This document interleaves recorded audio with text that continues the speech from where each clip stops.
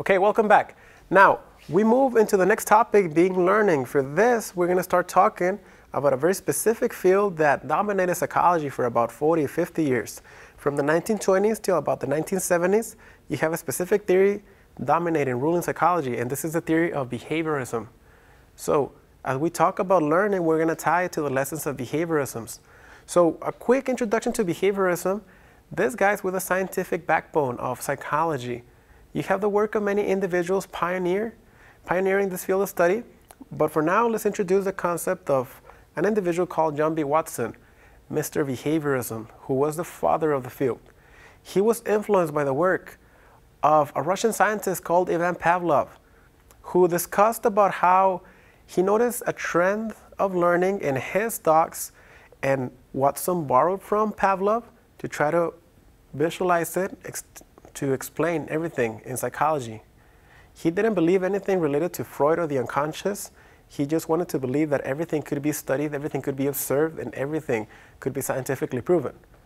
So, these are the lessons of what we call classical conditioning, and this is the work of John B. Watson. And it's very simple.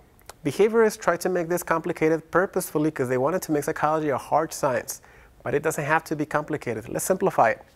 You have only two components being a stimulus and a response. A stimulus really can be anything. Anything can be a stimulus.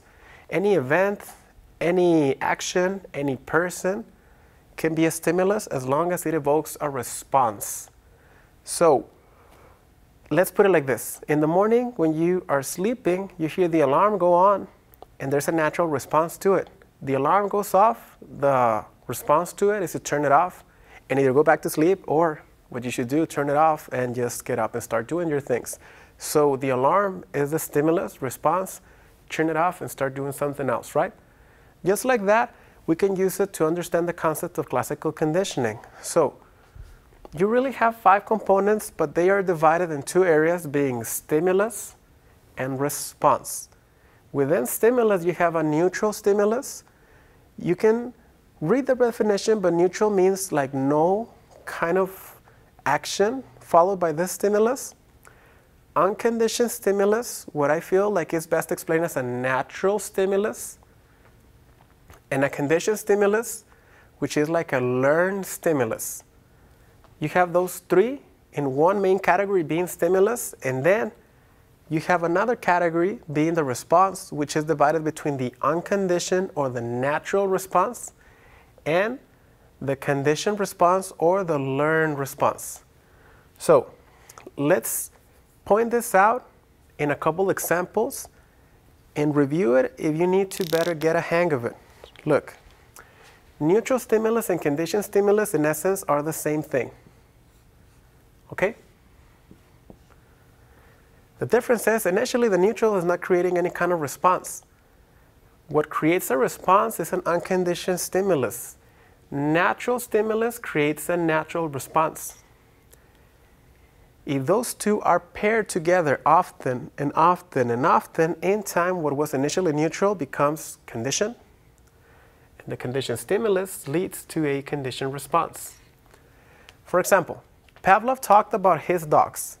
Ivan Pavlov talked about how he would feed his dogs, and in order to do so, because he had so many dogs, he had to ring a bell. So the dogs would come in together as he would ring the bell, and then he would feed them. He noticed a trend. Apparently, every time that he rang the bell, the dogs came in, but the dogs were already salivating.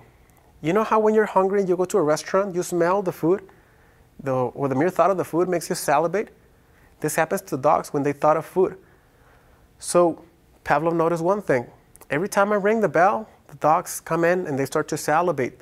They salivate because they're expecting food. But the trend happens so often that it continued happening. When you had the bell initially was meant to just get the dogs together. The food made the dogs salivate. But when you have the bell and the food paired together often and often and often, Pavlov noticed I can just take off the food and the valve by itself is gonna make my dog salivate. What do you did? You conditioned or you taught something in a classical manner, it's almost like accidentally learned or taught something. Let's think of a couple examples. First, a very common example for classical conditioning when you see lightning and you hear the thunder, people tend to cringe. People tend to feel uneasy about it. But what is really the terrifying thing? Think about it. it, is the noise. The noise of the thunder is what really makes you feel afraid. But if the noise of the thunder and the sight of lightning go together, we tend to associate both, and the mere sight of lightning makes us cringe. So, the lightning by itself is not really scary. What is scary is the noise, right? So the noise naturally makes us feel afraid or makes us feel uneasy. But if we're used to see the lightning and hear the thunder together often and often and often, in time, just the mere sight of lightning, remember, it will evolve, it's enough to make us feel ah, uneasy. We have a lot of examples of this. Let me tell you one personal that could really be helped out to understand this. Now, this is a sensitive example, all right? I used to work at a psychiatric clinic. There was a time when a lady came in and she had PTSD because she had been sexually abused. But there was a very, very specific pattern for this lady. Apparently, the abuser was drinking wine and she could smell the wine when this happened. So, this is the thing that happened to her.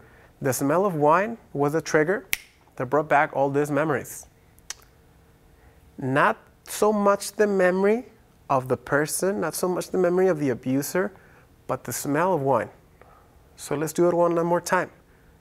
The wine by itself is not supposed to trigger any kind of traumatic memories. The wine is a neutral stimulus. What is triggering all this really memories, what is creating those memories, is the memory of the attack. This is what really brings back all those awful memories. But if you have the smell of wine and the memory of the attack linked together often and often and often, in time the smell of wine became a conditioned stimulus which led to the conditioned response of the traumatic memories coming back. According to Watson, classical conditioning could be used to purposefully create a change and to purposefully understand complex human behavior. That being said, covers classical conditioning.